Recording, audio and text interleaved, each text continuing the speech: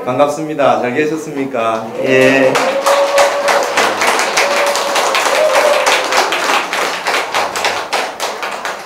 와, 우리 송광사 불교대학은 책상이 좋네요. 어, 어, 그, 그러면 이제 지금은 또 불교대학이 끝이 났습니까? 이번 학기가? 다음 주에 종강하나요? 네. 그러면 지금 여기는 뭐 1년, 2년 과정인가요? 1년 과정? 영원한 그러니까 매년 불교대학이 있는데 어 계속 이제 1년 코스로 해서 계속 이렇게 되고 불교 뭐 그 그러면은 몇 과목 들으신 거예요? 1년 동안.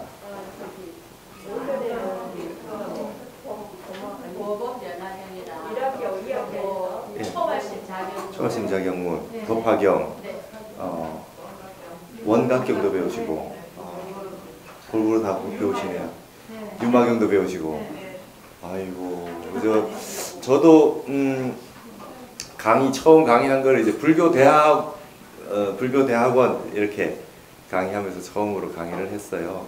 강의를 해서 예전에 비해서 우리 이제 불자 여러분들이 그 기도만 하고 어 그 절하고 이 정도로 그쳤던 거에 비해서 이제 다들 불교 대학을 다니시기 때문에 이제 공부를 다 잘하시죠, 그죠? 예, 그래서 어 우리 불자라고 하시면 기본적으로 이제 다 경전도 많이 보시고 그다음에 불교의 역사, 그다음 문화 이런 다양한 우리 이제 교재들을 통해서 보시고 그다음에 공부도 많이 하시고 또 요즘은 이제 참선 명상도 많이 하시고 그렇게 해서 요즘 이제 그 저 종교가 좀 이렇게 에, 초종교 사회로 가고 있어요. 종교를 많이 안 가진답니다. 젊은 쪽으로 갈수록 어, 그래서 모든 종교가 전 세계 모든 종교가 어, 신도수가 조금씩 준다고 하는데 우리 불교도 예외는 아니고 어, 미국이나 유럽 같은 데서 기독교 신자들도 마찬가지고 거기도 그 교회가 자꾸 비는 곳들이 생긴답니다. 근데 어, 우리 불교는 그때에 비해서 이제 그 신도수가 조금 줄어들 수는 있으나 어, 수준은 훨씬 더, 좀더 높아지신 거죠. 예전에 비해서 맞죠? 네, 느껴지시죠? 네, 그래서 이제 어, 거기에다가 이제 제가 그 2010년에 처음으로 서울 그 화계사에서 불교 대학원 그때 저는 불교 대학원 강의를 했어요. 제가 이제 뭐 불교 대학 강의도 했지만 저는 불교 대학원 강의를 많이 했는데 주로 이제 그 한문 경전으로 된 경전들 뭐 좀 어려운 거 뭐 이런 걸 저, 저에게 맡아달라 그래가지고 제가 처음 했던 그 불교 대학의 강의도 법화경이었어요. 법화경 강의 처음 했고 어, 불교 대학원에서 그러고 나서 했던 게 능가경이라고 있어요. 능가경을 해달라고 주지스님이 그러셔서 능가경을 했고 그 다음에 이제 화엄학을 했고 어, 중론을 했고 용수 중론 이제 어렵죠 그죠 다. 그래가지고 어, 그때 이제 그 여러분들처럼 이렇게 어, 그 이제 화계사 불교 대학 그 강의실에서 이렇게 하면 어, 지금 여기 모이신 분들보다 적습니다. 숫자 적었어요. 그래가지고 이제 그 법화경 하고 이렇게 했, 하고 능가경까지 강의를 했는데 그것도 이제 2010년이니까 꽤 됐죠, 그죠? 음, 그때 강의를 하고 어, 지금 이제 어쩌다가 뭐 갑자기 이게 저기 코로나가 와가지고 제가 이제 그, 그 금강선언이라고 해거 스님 계시는 금강선언에서 이제 경전 강의를 했어요. 거기서 이제 탄어사상 특강이라고 탄어 스님 서문 써놓은 걸다 가지고 강의를 그 하고 어 제가 이제 박사 논문 쓰면서 탄어 스님 연구를 하면서 제 공부할 겸 탄어 스님의 어, 유교 그 다음에 노장 그 다음에 불교하고 화엄하고 선하고 이렇게 전체 다를 탄어 스님 책으로 어, 강의를 한번 했었고 2014년 15년 그렇게 했고 그러고 나서 이제 선문염송이라는 걸 강의를 했었어요. 음, 그 그렇게 했는데 어, 그리고 나서 이제 선효라고 그 고봉 원묘 선사의 선효라는 책을 강의를 하고 있을 때 코로나가 왔습니다. 코로나가 와가지고 이제 절에 오면 안 된다고 그래서 우리 우리 불교는 불자는 잘 지켰잖아요, 그죠? 원래 우리 불교는요, 어, 다 모든 가족이 매주 오는 게 아니었잖아요, 맞죠? 예, 우리 그 이웃 종교는 모든 전 가족이 일주일에 그 주일이라 그래가지고 꼭 가잖아요.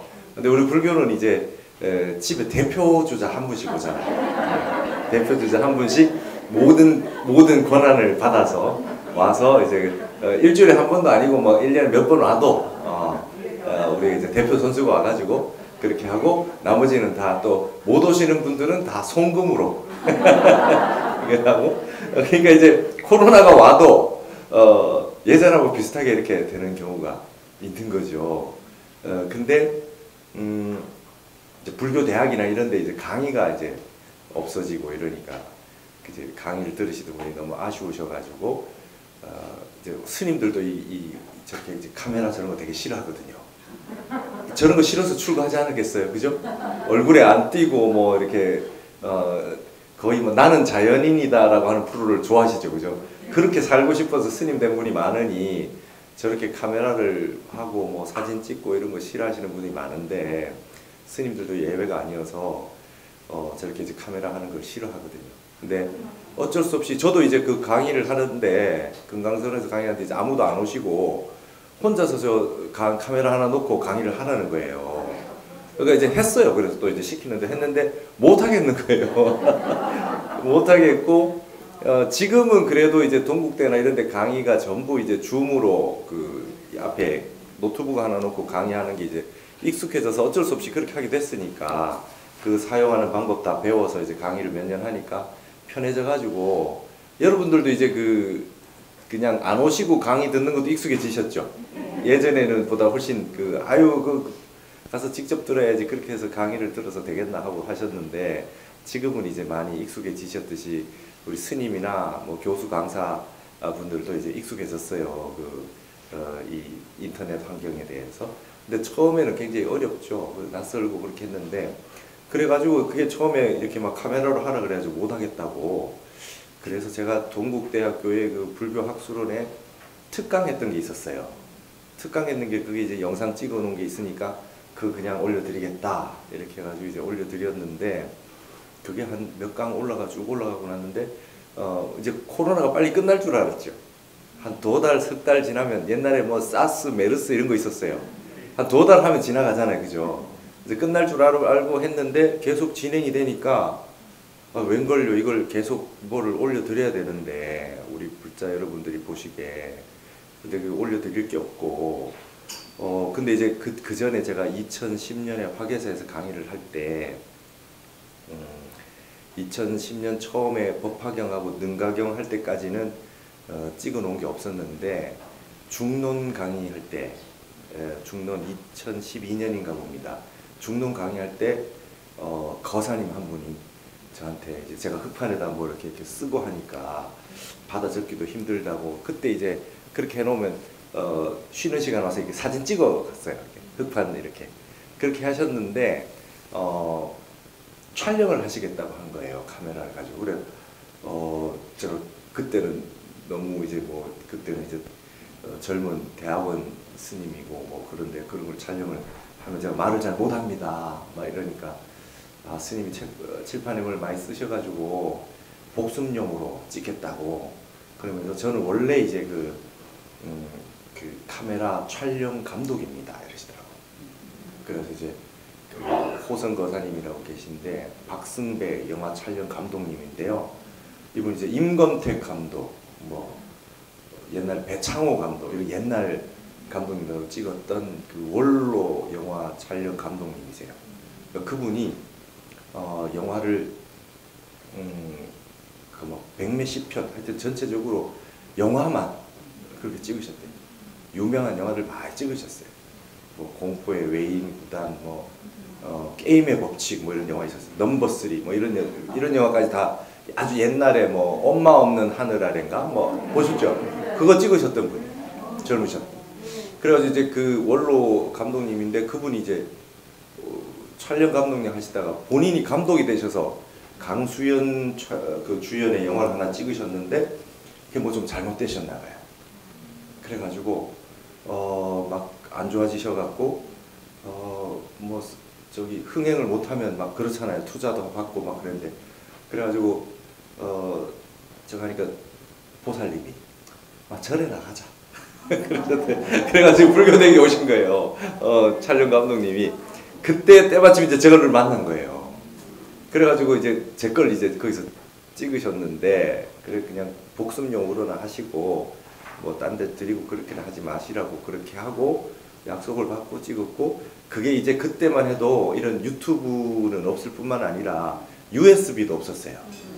요만한 이게 카메라 카세트 작은 카세트 있죠. 그거 끼워가지고 촬영하시다. 그러니까 그분이 촬영하실 때 카메라가 제일 좋은 거겠죠. 영화 영화 촬영 감독님이니까. 근데도 요만한 테이프로 이렇게 끼워가지고 촬영을 하시더라고요. 그렇게 이렇게 시작을 해서 그렇게 하셨는데 제가 강의만 하면 오셔서 다 찍으셨어요. 몇 년을 찍어주셨어요. 몇 년을 찍어주셔가지고 어 그러니까 그때 당시로는 그래도 그게 제일 나은 버전이었던 거예요. 그 제가 지금 혹시 제 유튜브 보셨어요? 보신 분 계세요? 아 많이 보셨네. 저 갑자기 갑자기 웬일인가 싶어요. 저는 가- 공부만 하고 있다가 어쩌다가 그래가지고 그 코로나 때문에 그냥 올렸는데 그때 거를 올려드린 거예요. 왜냐하면 금강선언에서 강의를 하는데 저기 화계사 거를 금강선언에 올리기도 뭐 하잖아요, 그렇죠? 그 이상하지 않습니까? 그래가지고 어, 다른 분들이 유튜브라는 게 있다고 거기 좀 올려드리면 막 저기 화계사 분도 보시고 금강선언 분도 보시고 하니까 막 됐겠다. 그래서 이제 그걸 그냥 올렸죠.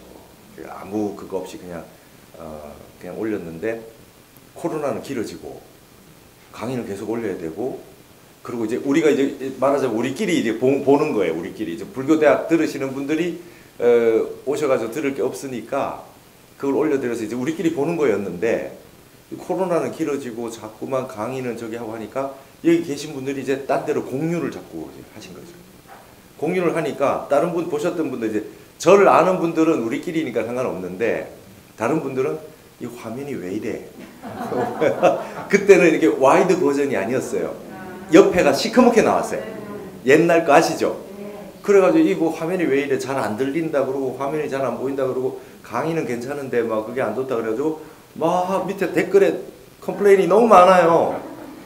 그- 그걸 전부 다 다시 내리고 그러고 났더니 어떤 분들이 어, 도와주겠다는 분이 나왔어요. 그래가지고 편집해서 화면 전체 채우는 거 뭐 음성을 하는 거 이렇게 편집해 주시니까 하- 해주시기 시작한 거예요. 그래가지고 그걸 다 내리고 또 이제 새로 또 올리기 시작을 했죠. 음 근데 그, 그 촬영 감독하셨던 원로 감독님 그 호선 거사님이 에, 얼마나 많이 찍어 놓으셨냐 하면은 어, 제가 강의 다닐 때마다 다 찍으셨어요. 그러면서 내가 영화 감독으로서 촬영 감독으로 찍어 놓은 거는 요즘 영화 보지 누가 옛날 걸 잘 보나. 근데 이 스님 강의 이런 걸 촬영을 해 놓으면 나중에 굉장히 도움이 되겠다. 많은 사람들한테. 영화 찍어 놓는 것보다 낫지 싶다. 이러시면서 가는 곳마다 그렇게 촬영을 해 주셨었어요.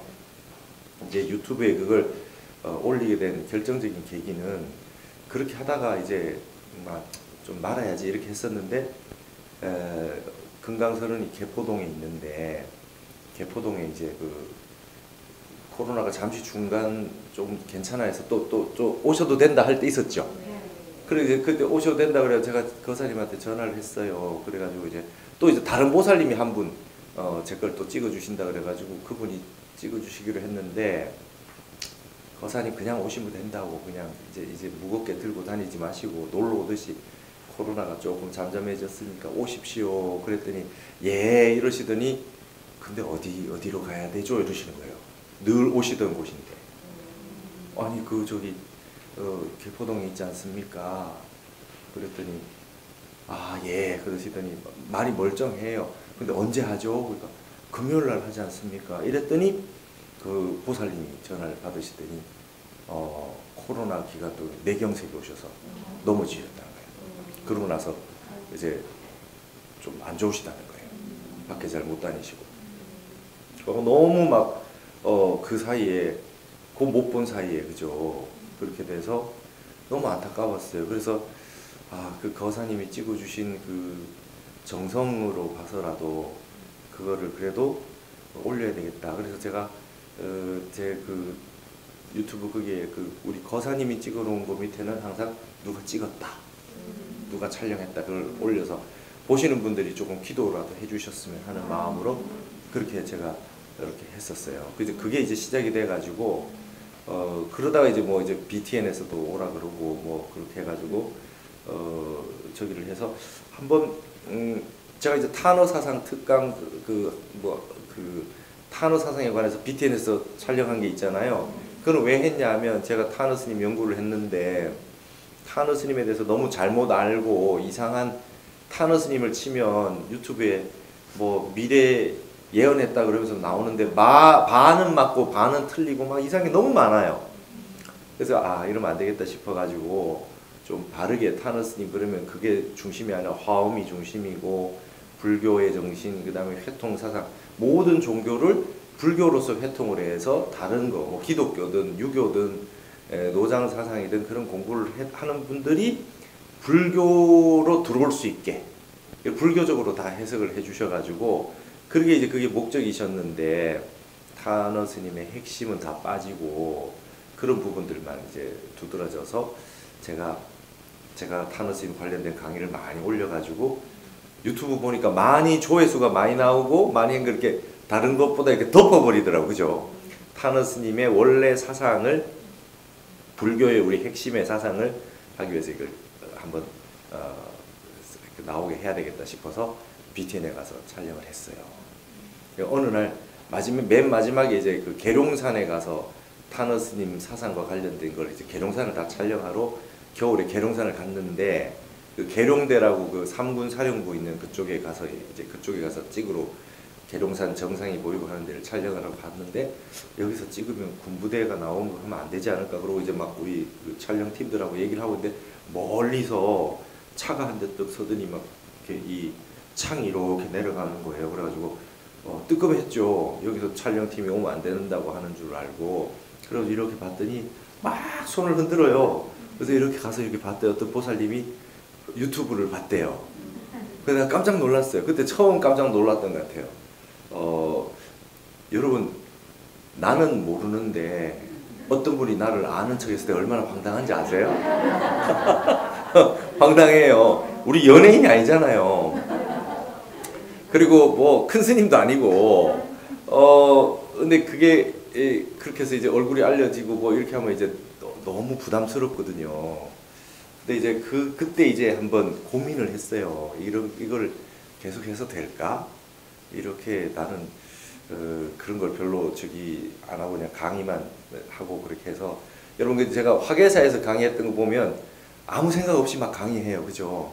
하고 싶은 대로 막 말해. 그러니까 저 카메라를 의식 자체를 안 하고 저게 찍혀서 나중에 이렇게 나올 거라는 생각도 안 하고 막 얘기하는 거죠, 그냥. 그때 선빵 다니다 나왔어요. 선빵 다니다 나와가지고 그때는 막 자신만만했어요. 막 세상을 잡아먹을 듯. 지금 보니까 웃기지도 않아요. 내 거 안 봐요. 음, 그래도 그때 30대 10년을 그냥 그 공부를 아주 열심히 하고 선원에 갔다가 정진도 하고 막 그 다 어, 이 불교 교학 선 화엄 뭐 그다음에 타나 스님 책도 보고 막 공부를 선원에 가서 정진도 하고 막 생식도 하고 막 그러고 하다가 이제 처음 강의했던 거라 그래도 어, 지금 보니까 어, 그래도 그거를 어, 그때 또 총기도 있고 어, 그렇게 해서 했는데 어, 지금은 이제 그런 저도 이제 조금 그런 어, 사명감을 느낍니다. 아, 우리 불교 안에 있는 내용의 팔만대정경 내용의 내용이 얼마나 많습니까? 그렇죠. 그래서 어, 타너 스님 같은 분이 강의해 놓으신 것도 많은데 우리는 불교에 그동안 강의 안 된 거, 금강경은 많이 있잖아요. 근데 안 경전에 그 강의 많이 된 거는 많이 돼 있지만 안 된 건 전혀 안 된 거 있잖아요. 그래서 이제 제가 선문 염송이라든지 이런 거 이제 안 된 거 합니다. 그래 놓으면 모든 분들이 공부하시기 편하게. 지금 무비큰 스님이 화엄경을 처음부터 끝까지 다 강의해 놓으시겠다는 원력을 세우셔가지고 강의를 하고 계세요. 근데 중간에 보시다 보면 이 화엄이 어디서 시작돼서 어디에 와 있는지 망망대해에 그냥 배 하나 띄워놓고 있듯이 감을 잡기가 어렵거든요. 그래서 우리 큰 스님께서 어, 무비 큰 스님께서 화엄경을 전체 다 강의를 해주신다 하니 저는 이제 요약 한 품 한 품씩 요약해서 이렇게 그 강의 들으시기 전에 요 한 품을 요약해서 좀 들으면 아 이 품은 전체가 요런 내용으로 되어 있구나 라고 하는 걸 이제 알고 볼 수 있게 이제 그런 식으로 이제 에, 좀 하고 그 다음에 예를 들면 금강경이 뭐 이렇게 그 강의가 있으면 어, 오가회 중에 뭐 없는 강의라든지 음, 뭐 이렇게 이런 식으로 어, 강의를 좀 해서 놓으면 해 놓으면 어, 여러분들이 공부하시기 좋지 않겠나. 불교 어렵죠. 불교 저도 어, 삼, 그 서른 다 돼가지고 이제 산에 다니면서 이제 불교 공부를 했는데 동양학을 그렇게 열심히 해도 불교 어렵습니다. 그래서 저도 어, 제가 약간 자신만만한 게 뭐냐면 어렸을 때부터 한문을 해가지고 웬만한 동양학 책을 다 보고 출가를 했는데 내가 모르면 이거 다른 분도 모를 걸 이 생각이 있었어요. 아상, 인상, 중생상, 수사상이다. 그럼 나라는 생각, 사람이라는 생각, 그 다음에 중생이라는 생각, 오래 산다는 생각. 여러분 아상이라는 건 다 이해되죠, 그죠? 내 중심으로 생각하는 응? 아트만이잖아요. 내가 뭐 영혼이 있을 것 같고 이런 이제 이게 자기 중심으로 생각이 아상인데 그 사상이 없어야 된다는 거 아니에요, 금강경에. 그게 그게 공이라는 겁니다. 반야라는 거예요. 나라고 하는 생각이 없어야 되는데 그게 이제 근본 본내라는 건데 여러분 사람이라는 생각이 그게 뭐예요? 인상이. 그렇죠? 이해가 안 돼요. 여러분 그냥 사시면서 문득문득 아상이 일어나잖아요. 이게 또 이 생각 또 이런 생각 한다. 또 또 욕심 부린다. 또 또또 또, 어, 저기 한다. 이게 내 아상 자꾸 느끼면서 아우 이거 참 근본 본내네 이 생각할 수 있지만 여러분 하루에 딱 일어나서 난 사람이야 이 생각해요? 사람이란 생각이 도대체 뭐냐고 사람이란 생각 앞만 봐도 모르겠어요 인상 사람이란 생각 그 다음에 그 중생상 중생이라는 생각 중생이라는 생각을 자꾸 합니까? 중생이라는 생각 수자상 오래 산다는 생각 그 생각은 한 환갑이 좀 넘어야 안 됩니까? 10대, 20대가 내가 오래 살아야지. 그러면서 아침에 일어날 때마다 아, 또 이 생각을 했어. 아, 뭐 또, 또 오래 산다고 생각을 했네. 이런 법이 없잖아요. 근본 본래가 아니잖아요. 이게, 이게 궁금했어요. 뭐 읽으면 계속 아상, 인상, 중생상, 수자상, 뭐 그게 오래 산다는 생각. 계속 그렇게 나오는 이게 뭐 도대체 난 모르겠더라고. 그래가지고 이제 옆에 있는 분한테 물어본 거지. 선배고 뭐 어, 이제 제가 동국대 나왔으면 강원 나온 도반들 뭐 선배 스님들 그다음 학자분들 인상이 뭐요? 인상 사람이란 생각. 사람이란 생각. 저 개를 보면서 야 나는 사람이야. 이럽니까? 이게 도대체 뭐냐 이거예요. 오래 산다는 생각, 내가 오래 산다는 생각 별로 안 하는데. 이게 누구나 다 보편적이어야 이게 그거 아닙니까? 그죠? 저는 이제 이런 게 궁금했어요. 출가해가지고. 맨날 금강경 독송을 하고 우리 그 조계종의 소위경전이 금강경이라고 하는데 음, 반야부 경전이잖아요. 금강 반야 바람일경이니까 반야부 경전이니까 모든 반야부 경전은 반야는 공을 뜻해요. 핵심이 공이잖아요. 공인데 아상, 인상, 중생상, 수자상이라는 게 공을 방해한다는 거잖아요. 그렇죠? 자꾸 욕심 부리고 자꾸 뭔가 내가 내가 있다라고 생각하고 공하다고 생각을 못하게 만드는 근본 본내라는 건데 이게 이해가 잘안 됐어요. 그 저는 이제 이런 걸 알기 위해서 혼자 막 이렇게 그 찾아본 거죠. 찾아봐서 내가 모르는 걸 해결하기 위한 공부를 했어요. 그래서 금강경 특강을 해라. 그럼 저는 아상, 인상, 중생상, 수사상만 딱 합니다. 그게 뭔데 그게? 그러니까 우리가 불교가 공부를 하면 할수록 점점 더 어리벙벙해져요. 있다 했다가 없다 했다가 있기도 하고 없기도 하다 했다가 막 자꾸 말이 바뀌어요. 경전마다 바뀌죠. 금강경에는 다 공하다 했어요. 법화계는 다 있대. 그죠? 다 살아있대. 있는 그대로 다 부처가 아니면 없대. 금강경에는 부처를 부처라 하면 그 말이, 말이 부처지. 그, 그 즉비열애요. 심용열애라. 그죠? 열애가 아니고 이름이 열애래. 뭐가 맞습니까? 그러니까 이제 이게 어려워진 거예요. 이게 이런 거를 개념을 잡아서 설명을 잘 해줘야 되고 우리가 분명하게 알아야 되고 그 이제 내가 제일 싫어했던 게 그런 겁니다. 이제 여러분 어, 우리 부처님부터 시작해서 역대 조사 큰 스님들 선지식 예, 도인 스님들이 전부 참선해서 깨달으셨어요. 그건 언어 문자가 끊어진 세계는 말로 못합니다. 맞죠? 팔만 대장경에 어떻게 법이 다 글자로 다 돼 있겠습니까? 일부분일 뿐이에요. 그 많은 팔만 대장경도. 그럼 여기서부터 교학에서 이렇게 말로 된게쭉 있다가 어느 정도 딱 가면 여기 이제 말이 끊어진 세계가 나타나거든요. 이건 말로 할 수 없잖아요. 여러분 행복이 뭡니까? 그러면 이런 행복 저런 행복 다 말할 수 있지만 어떨 때 가면은 진짜 말로 할 수 없는 수준이 오잖아요. 그건 내가 겪어봐야 아는 거 아닙니까? 송강사가 아름답다더라, 단풍이 좋다더라 그런 게 이제 백과사전으로 쭉 알고 어, 단풍에 대해서 설명을 다 알아도 직접 딱 와서 우와 이렇게 했을 때 그 그걸 체험해봐야 아는 거니까 이건 말로 못 하는 거잖아요. 여기서부터는 참선해서 말이 끊어진 세계를 참선해서 들어가야 되는데 어디까지가 말이고 어디서부터 말이 끊어진 세계인가라고 하는 걸 알려줘서 요까지는 딱 말로 된 세계니까 철저하게 경전도 보고 어록도 보고 그다음에 그 이 논장 경률론의 논장 주석도 보고 이렇게 자세하게 봐서 그다음에 학문적인 그, 그 법문도 듣고 강의도 듣고 해서 아는 것까지는 다 알고 그 다음부터 이제 말이 끊어진 세계는 이제 참선이나 명상을 해야 되거든요. 근데 제가 제일 불만이었던 건 공부하다가 이렇게 물어, 뭐 물어보잖아요. 그럼 이렇게 뭐 물어보면 내가 봤을 때 이거 분명히 말로 해야 되는 부분이 설명을 해야 될 부분이라. 그럼 이 정도 와서 이제 남은 부분은 참선해야 되는데 여기까지 안 오고 여기 걸 질문했는데 참선해. 뭐, 뭐, 뭐, 뭐 자꾸 말로 따지고 있어. 참선해. 이러면 이제 이제 이게 저는 이제 불만이었어요. 그게. 그래서 어디까지 우리가 알 수 있느냐 아는데 끝까지 가서 그 예전에 불교 시대 엄청난 시대에 이걸 말로 다 끝까지 해설을 해주기 위해서 아주 뭐 그 수도 없이 많은 예, 논저들이 있었단 말이죠. 논장이 주석이 달려 있었어요. 그래서 이런 거를 대승기실론 그럼 대승기실론 소와 별기 원효대사 다 써놨잖아요. 그래서 이런 걸 좀 공부를 해야 되겠다. 그래서 제가 이제 모르는 거 위주로 하겠다 생각을 하고 어, 딱 봐서 뭘 모르겠느냐. 어, 그래서 제가 앞만 봐도 잘 모르겠는 게 있어요. 아까 말했던 아상, 인상, 중생상, 수사상 같은 거. 공이 뭐냐, 공. 그죠? 알 것 같은데도 모를 것 같고 또 뭐 처음에는 딱 이제 어, 처음에 이제 초기 불교부터 시작해가 딱 하면 뭡니까? 딱 에? 에, 나라는 게 뭐요? 온입니다. 그죠? 색수상 행식. 나는 나는 온으로 구성된 색수상 행식.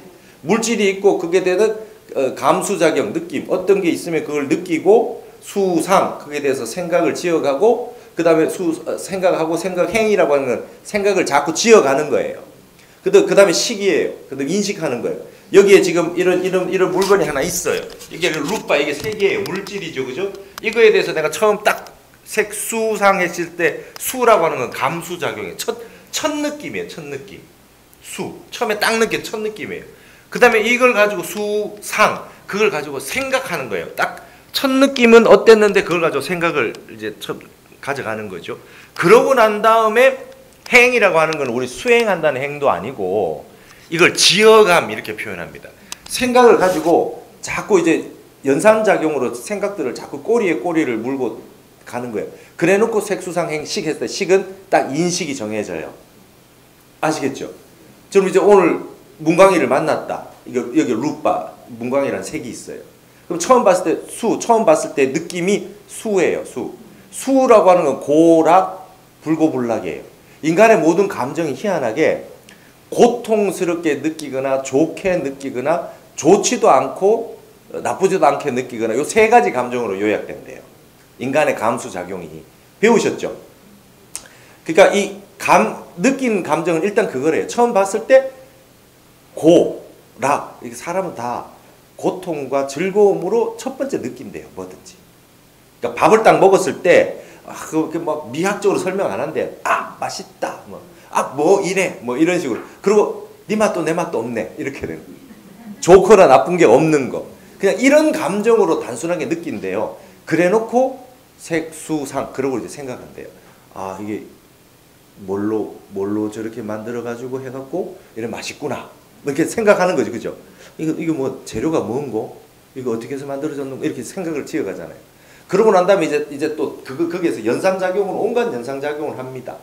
음, 문광이 봤는데 키가 작네? 뭐 이렇게 딱, 어, 저, 저 엄마가 적었나? 뭐 이렇게 막 생각을 지어가 맞잖아요. 막 이렇게 지어가는. 그, 그래서 처음에 생각했던 거에 비해서 마지막 인식은 어? 그래도 뭐 얘기를 들어보니까 그래도 괜찮더라. 뭐 별거 없더라. 뭐 이렇게 막 이렇게 지어가는 거예요. 그래서 여기에 말을 하면 여기 한마디를 쭉 똑같은 말을 해도 여기서부터 쭉 가서 저 끝에 계신 분들 다 들어도 딴 딴 거 얘기해요. 맞죠? 그러면 수는 처음에 비슷했는데 상행식이 다 달라졌어요. 그래서 나는 어떤 거에 대해서 나의 인식은 다 달라. 그건 그거는 수상행식은 뭡니까? 그걸 마음이라 그러잖아요. 그거는 내 내 업식에 의해서 보는 거예요. 내가 어떤 사람이냐라고 하는 내 인식 베이스에 따라 가지고 그걸 보는 거예요. 그러니까 마음이 맑은 사람은 거울과 같이 깨끗하면 산이 오면 산이 비치는 그대로 물이 오면 물이 비치는 그대로 느끼는데 그러지 않은 사람들은 일단 사람이 그죠 부정적인 사람이 있어요. 뭘 다 갖다 줘도 싫대. 아이고 그게 무슨 소용이 있어. 별거 아니여. 생각할 것도 없어. 이런 분 있잖아요. 뭐가 두라도. 그러니까 뭐가 두라도 세상에 나쁜 일은 하나도 없지. 어, 다 좋아지려고 그러는 거라. 이렇게 하는 분이 있고 그러니까 내가 가지고 있는 업식에 따라 가지고 수상 행식이 다 달라져요. 그래서 내가 만들어서 내가 짓는 세상이라는 거. 그래서 이제 색수상 행식이라고 이게 오원이에요. 내 몸과 마음 밖에는 없는 거예요, 이 세상은. 예. 극락 세계가 와도 싫다면 그만이에요. 예. 그래서 이게 내가 뭐냐 그럼 오원이라 그래요. 그 이게 이제 기본입니다. 그럼 그 오원에 대한 느낌과 이런 것들 결국 뭐냐?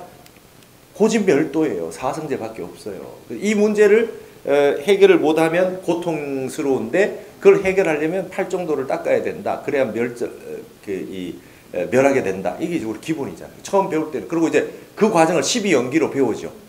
무명이라고 하는 것에부터 무명, 영행, 해양식, 신영, 면생, 명생 영, 유기, 유기인, 속초변수, 수연행, 행양식 쭉 해가지고 노사오비곤에 가지고 갈때 12연기라고 있다. 모든 건 연기더라. 이제 사성제, 팔정도, 십이연기, 그죠? 육군, 육식, 그죠? 육경, 그 다음에 색수상 행식, 오원 이걸 딱 배울 때는 이제 재밌습니다. 분명하게 가르쳐 주니까. 근데 갑자기 이제 금강경에 오면 여기 있는 거요 이게 이렇게 분명히 여기에 색수상 행식 했는데 있다 해도 30방이요 없다 해도 30방인데 선에 가면 이러고요. 삼남한 사람 두두물물이 다 부처 아니면 이것도 어떤 게 부처라 했다가 지금 없다 했다가 이게 지금 어떻게 되냐 이거예요. 이게 어렵습니다. 불교가 이렇게 어려워요. 그래서 어, 어디까지는 언어 문자로 된 걸 정확히 알아야 되느냐 이게 중요해요. 그래서 저는 모든 강의를 제가 몰랐던 거 파악한 거를 가르쳐 주는 강의를 했어요. 열심히 공부를 해서. 그 모르면 끝까지 물어봤어요. 어, 그래서 이제 어, 오늘도 이제 그 우리 일단 불교 대학에 계시는 분들이 모든 우리 불자분들이 금강경의 사상은 알아야 되겠다. 아상, 인상, 중생상, 수자상이라는 거. 그 다음에 공이 뭐냐?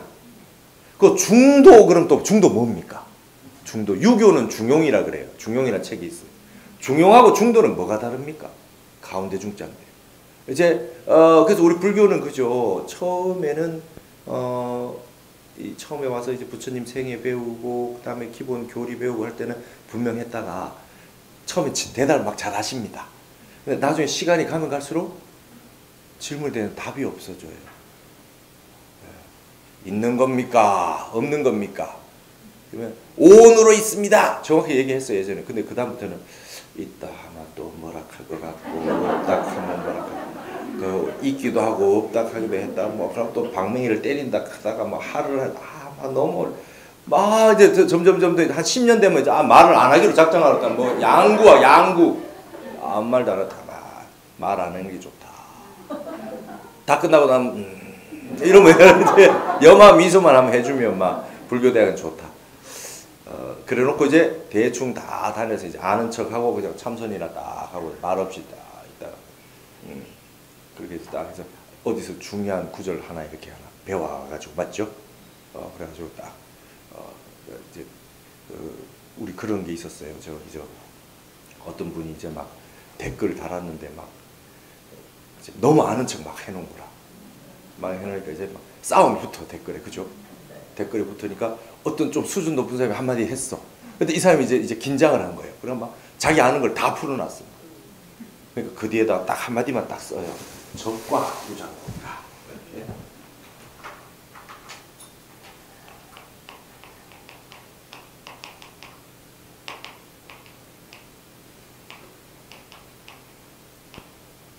예, 적과 부장군님 도적이 지나간 뒤에 활을 땡겼다. 아까 말했어야지.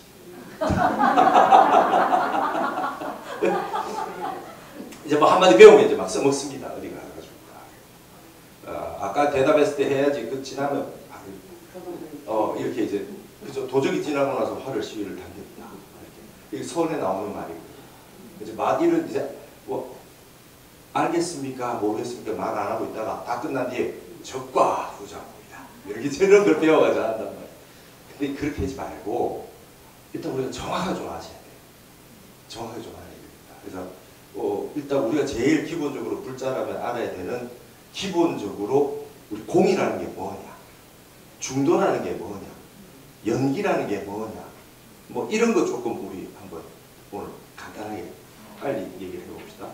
자, 여러분 공 하면 공 하면 자, 여러분 이게 있는 겁니까? 없는 겁니까? 이렇게 대답 질문하면 이제 이미 공이 이제 이해를 안 되기 시작하는 겁니다.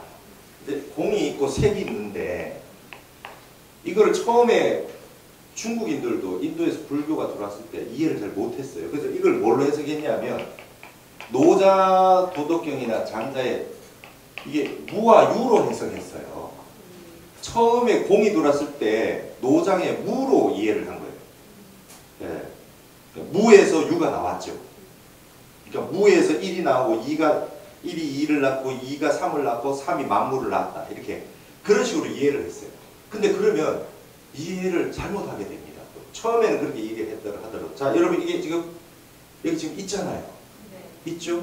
근데 이걸 공하다 그래요. 맞죠? 불교에서 이거 공하다 그러죠. 분명히 있는 걸 공하다 그래요. 그럼 이게 무슨 뜻이냐라고 하는 거를 이, 이 얘기가 왜 나왔냐라고 하는 걸 딱 아셔야 됩니다. 그래서 항상 제가 이제 강의할 때 공하면 그냥 바로 1단계도 딱 떠올, 떠올리셔야 되는 게 있어요. 그게 뭐냐면 연기부자 성공입니다. 제가 강의할 때마다 이렇게 얘기를 합니다. 연기부자 성공. 한번 따라 해볼까요? 연기부자 성공. 예. 왜 공이냐 하면 여기에 있는 이 분필이 지수화풍 4대로 화합돼서 있죠. 이게 연기로 있어요. 영원히 있는 게 아니다 이 말입니다. 연기로 있어요. 연기로. 얘가 인연이 끊어지면 얘는 흩어지고 없어져요. 맞죠? 근데 있다 해도 영원히 있는 게 아니라 얘는 연기로 있는 거예요. 연기로 있기 때문에 이게 연기라고 하는 게 부처님의 근본 사상이에요. 연기에서 이제 인연 인과법이 나오고 연기라고 하는 건 인연생기라는 뜻입니다. 인연생기. 인연에 의해서 전부 생겨났다는 거예요. 얘가 얘를 분석해 보면 이게 이제 가루로 되어 있던 걸 이렇게 뭉쳐서 이렇게 만들어졌잖아요. 지수하고 우리 몸도 그래요. 우리가 죽으면 우리 몸이 여기 있는데 왜 없다 그럽니까? 왜 이 몸뚱이를 왜 공하다 합니까? 이 몸이 영원히 있는 게 아니라 지수화풍 4대로 잠시 잠깐 화합해 있어요. 이게 천년 있다 해도 어, 영원히 있는 건 아니다. 저 나무가 800년 된 나무가 있다 해도 영원히 있는 게 아닙니다. 저게 그죠? 우리 몸이 100년을 못 가고 뭐 수명이 길어졌다 해도 이거는 공한 거예요. 왜냐? 사람이 죽으면 지수 화풍이 분리되죠. 그죠? 제일 처음에 뭐가 체온부터 떨어지죠. 그죠? 그죠? 예, 화, 불, 불균이 빠져요. 물, 어, 몸에서 물이 바로 나오죠. 물 빠져나오죠. 그 다음에 온도 빠져나오죠. 그죠? 어, 그 다음에 지수 화풍, 이 지라고 하는 건 우리 몸뚱이 같은 거. 서서히 썩어져 가죠. 그죠? 어, 그 다음 풍이라고 하는 건 호흡, 숨이 빠지죠. 그러니까 지수화풍이 어, 우리 우리 몸 안에 몸 안에 그 피가 돌고 그 다음에 체온이 있고 따뜻하고 그 다음에 그 속에 이제 에, 우리 몸 안에 그 에너지가 생겨가지고 열을 만들어내고 그 다음 이런 생명체가 있다가 이게 따로따로 분리되는 순간 작동을 안 한단 말이죠. 그걸 죽음이라 그래요. 그러니까 그게 화합해서 있는 거예요. 숨이 끊어져도 못, 하- 못 살고 물이 물이 다 빠져버려도 못 살고 하나도 이게 지수화풍이 다 결합이 돼 있어서 하는 거예요. 근데 이게 이 몸뚱이가 지수화풍만 끊어져 버리면은 없는 거니까 이 몸뚱이가 영원히 있는 게 아니라 연기에 의해서 있는 거예요. 연기에 의해서 있는 거예요. 연기에 의해서 있는데 이게 무자성이에요. 자성이 없어요. 영원 여기 우리가 이제 우리 그 불성이라는 말로 똑같은 말로 자성을 표현하죠. 자성의 뜻이 두 개가 있어요. 영원한 우리의 불성이 있다 했을 때도 자성을 자성 청정부를 할 때는 우리 불성이라는 뜻이고 여기에서 자성은 실체로서 영원히 이- 스스로 있는 거라는 뜻이에요. 두 종류가 있습니다. 자성이란 말에. 그래서 무자성이란 말은 영원한 실체가 없다 이 말입니다. 요거를 무자성을 다른 말로 무아라고 합니다. 무아. 들어보셨죠? 이게 금강경에서 무아, 무아상이에요. 영원히 내라는 게 없어요. 그 연기로 돼 있으니까. 연기로 돼 있어서 영원히 나라는 게 없기 때문에 공이라고 하는 거예요. 자, 그럼 옆에 있는 거 전부 다 다 공한 거 맞죠? 모든 게 공하죠. 예. 제법이 공상입니다. 반야신경에 모든 제법, 모두 세상에 있다는 존재자는 전부 공한 것이다. 왜? 연기로 있으니까. 영원한 실체가 없으니까. 잠시 잠깐 화합이 있으니까. 이게 천년 있다 해도 만년 있다 해도 이건 영원한 건 아니에요. 어, 이 영겁에 비하면 찰나에 불과합니다. 영원한 건 하나도 없어요. 그럼 이제 우리가 딱 이거만 요거만 배우고 나면 이제 여러분 가셔가지고 노래 가사 다 보세요. 다 거짓말, 다 거짓말. 천년의 사랑 그런 거 없어요.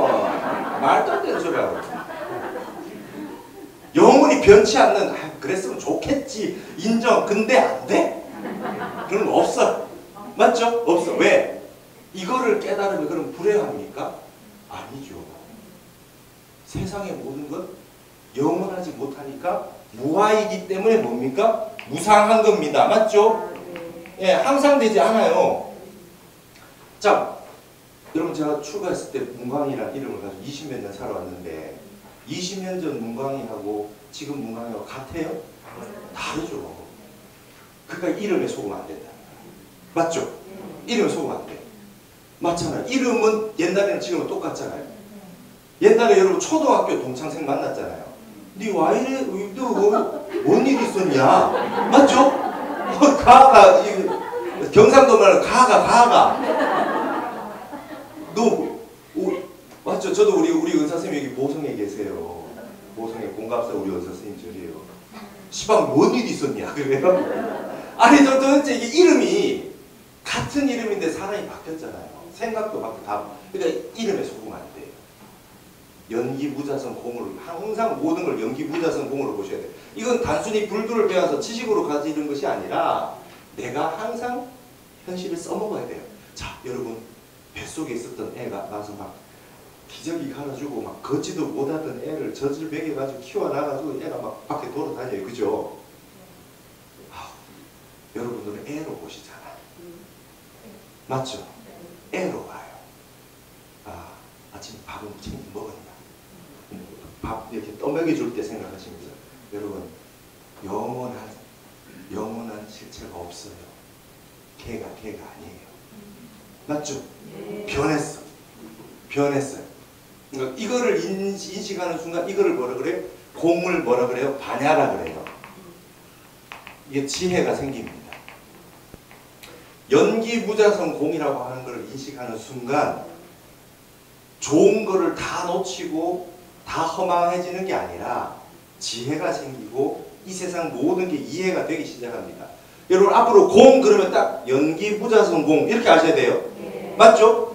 그러면 공이라고 하는 게 딱 자 이제 공이라고 하는 뜻이 없다라고 하는 뜻이 아니죠. 여기 있어요. 있는데 영원히 있는 게 아니라 잠시 잠깐 있어요. 그래서 이걸 뭐라 그러냐면 이 유가 아니라 이게 무가 아니라 가유입니다. 가유. 가짜로 잠시 잠깐 있어요. 그러나 본질은 공한 거예요. 맞죠? 그러면 있기도 하고 없기도 하지. 여기 있다 할 때는 분명히 여기 눈에 눈앞에 있죠.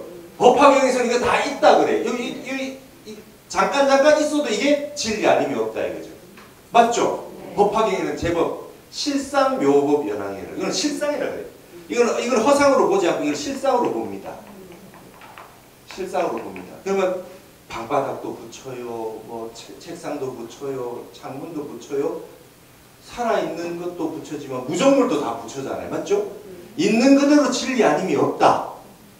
왜? 이것을 공한 것으로 봐서 이 공하다고 하는 사실과 그럼에도 불구하고 지수학풍 4대로 뭉쳐서 있다라고 하는 현실을 인정 공으로 한번 가서 부정을 거쳐서 있다라고 하는 건 이제 부정을 거치면서 내 마음이 공으로 딱 되고 난 다음에 보면 삼남한상 두두물물이 진리 아님이 없어지는 겁니다. 내가 거울이 돼버리거든요. 맞죠? 자 여러분 이- 여기 지금 어, 송강사에 말이죠. 여기 조계산이 있어요. 서울에 남산이 있어요. 그렇죠? 남산은 남산은 똑같은 남산인데 사람들은 다 다르게 생각합니다. 그죠? 내 인식에 의해서. 그러면 도인은 어떻게 해요? 연기 무자성 공으로 봐요. 내가 내가 그 남산에 느꼈던 색수상 행식을 싹 지워요. 그리고 산만 딱 봐요. 그럼 남산의 실상을 보죠. 이걸 법화경에서 말한 실상이라고 해요. 내 마음 없이 텅 비워서 연기 무자성 공의 입장에서 아무 감정 선입견 없이 정확하게 보는 거. 이걸 여실지견이라 그래요. 들어보셨죠?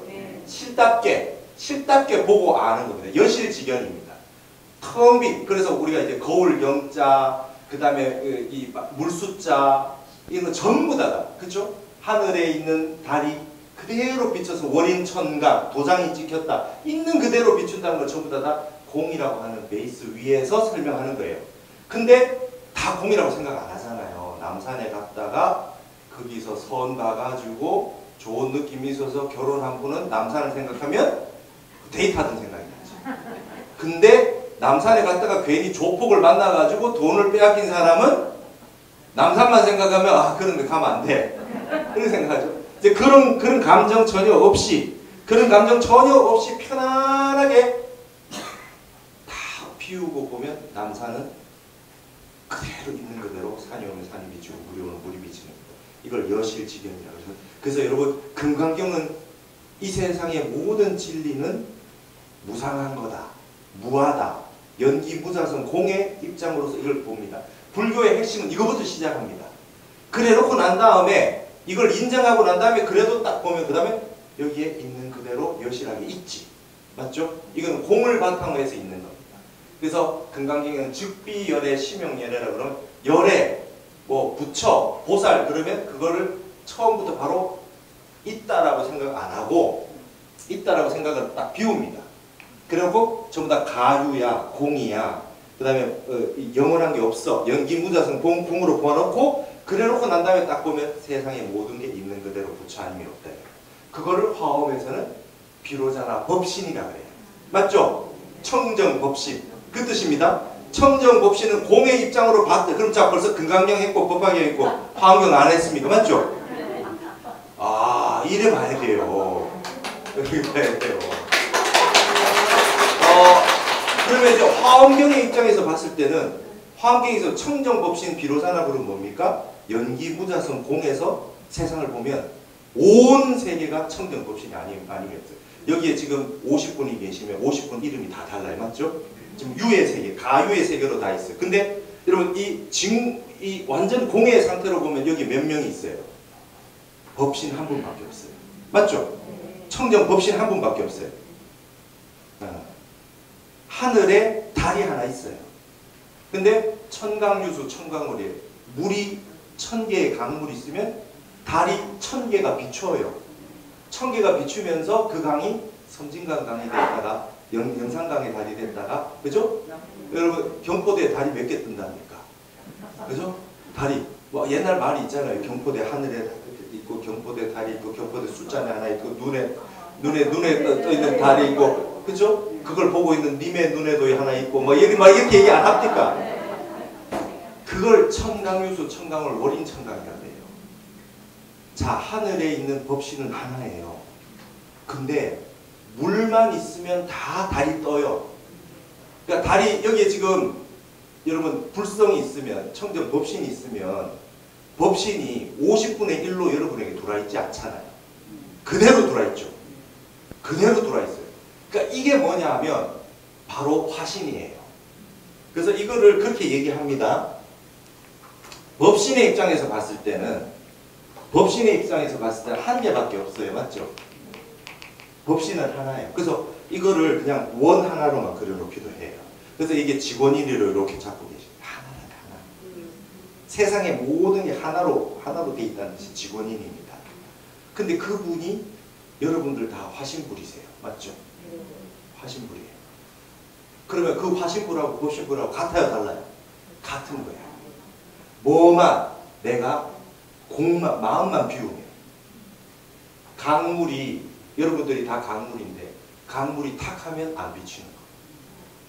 청정 법신 그대로 비추려면 내 색수상 행식의 생각이 비워져서 공해지면 그대로 달이 비치잖아요. 그럼 화신불이 돼요.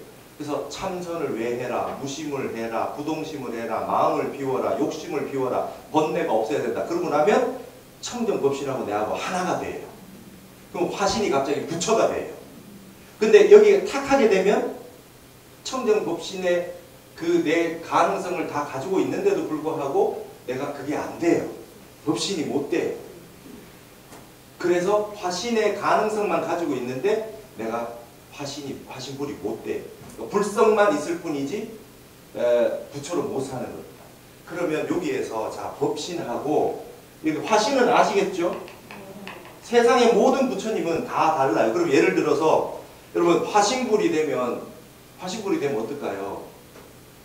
키 큰 분은 키 큰 대로 붙여요. 적으면 적은 대로 붙여요.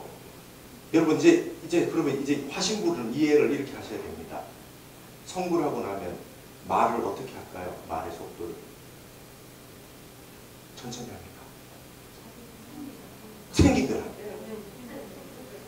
여러분 말을 막 빨리 하던 사람이 견성 성불하면 갑자기 천천히 해. 그런 거 없어요. 맞죠? 네. 막 빨리 걷는 사람이 갑자기 성불을 했다 갑자기, 갑자기 천천히 걸어집니까? 아닙니다. 자기 성격 고쳐서 부처되는 게 아니에요. 맞죠? 여러분 갑자기 어, 고기를 싫어하던 사람이 갑자기 성불하면 고기가 좋아집니까? 식성이 바뀌어요? 아니요. 여러분 성격 고쳐서 성불하는 게 아닙니다. 내 마음을 공하게 비워서 세상에 있는 모든 걸 공한 줄 알아서 성불하는 거예요.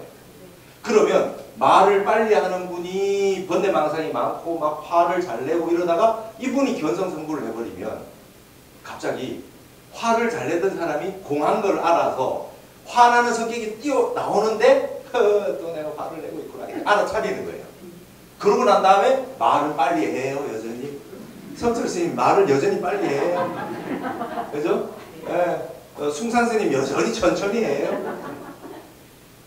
그러니까 개성이 개성이 단점이고 장점이었던 게 개성이 있는 그대로 그 사람 앞에 불이 돼버려요. 그죠? 그래서 백팔 참여할 때 온갖 부처님 이름이 등장하시는 겁니다. 네. 그 사람 성격 그대로 그게 그대, 그대로 공해지니까 그 사람 성격에서 나올 수 있는 장점이 부처님의 그 이 교화 방편으로 등장을 해요. 생각을 내면 이해되시죠? 자, 그럼 이게 화신불이에요. 그러면 이제 여기서 제일 어려운 거 이제 보신입니다. 보신. 청정법신 비로장합을 원만 보신 노산합을 천백억 화신 서가머리고 청정 법신은 여러분 속에 마음이 텅 비어버리면 다 청정 법신이 되는 거고 여러분의 마음이 아까 말했던 공이 되면 청정 법신이 되고 그게 공을 바탕으로 해서 다시 유가 되면 화신불이 돼요. 맞죠? 각자 각자가 다 부처 아님이 없어요. 그럼 보신은 뭡니까? 이 보신 어렵잖아요. 보신 어렵잖아요. 저는 어려운 거 아는 거 위주로 공부를 했다니까요. 보신이 뭐냐 물으면 또 몰라 답을. 그러니까 법신하고 화신 사이에 뭐 있는 거겠죠. 과보신이잖아요. 과보. 청정 법신이 있는 과보로 인해서 있는 그 무엇인가 이겠죠. 근데 그게 화신하고 같으면 또 보신이란 말은 또 안 만들었을 거 아닙니까? 그래서 이거를 가지고 보신이 또 어렵습니다. 보신이 어려우면 이렇게 생각하시면 됩니다. 하늘에 달이 떠 있어요. 그죠? 근데 막 이렇게 생긴 물이 있고 이렇게 생긴 물이 있고 막 이렇게 생긴 물이 있고 막 이렇게 생긴 물이 있어 하늘에 달이 비쳐요. 그죠?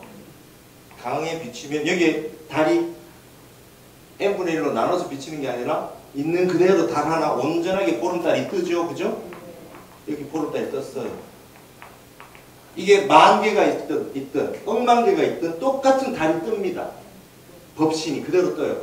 요걸 법신이라 하늘에 있는 달이 법신이고 강에 떠 있는 그림자, 그림자 영자 맞죠? 그림자가 화신이죠. 그럼 도신은 뭘까요?